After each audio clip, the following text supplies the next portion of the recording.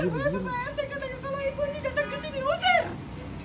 Mudah-mudahan ada ada viral dari Allah nanti orang-orang yang mengusir saya. Dan akan membalas memberikan balas sendiri setimpal. Tiba-tiba begitu masuk saya.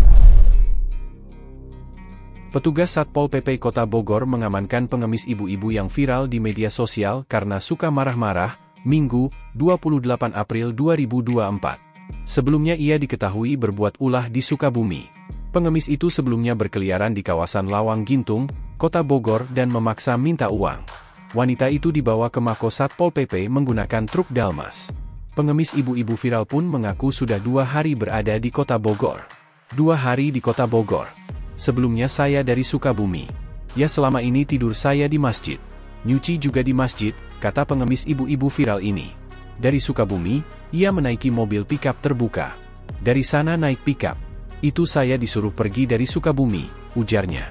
Ia diberi ongkos sebesar Rp100.000 oleh kelurahan yang ada di Sukabumi untuk pergi meninggalkan Sukabumi. Rp100.000 itu. Udah dibeli makan itu ya 40 ribuan rupiah lah. Saya pegang sisanya itu 60 ribu rupiah, ujarnya. Saat ini, ia mengaku akan terus berjalan di jalanan. Ia pun meminta warga untuk tidak memviralkan kembali dirinya. Terus terang saya tidak suka diviralkan. Itu saya tidak melakukan kejahatan. Saya cuman meminta ketulusan hati warga untuk membantu saya di jalanan, ungkapnya. Kepala Seksi Operasional dan Pengendalian Satpol PP Kota Bogor, Surya Dharma mengatakan, dari hasil asesmen sementara, pengemis ibu-ibu viral ini melakukan aksinya lantaran permasalahan keluarga.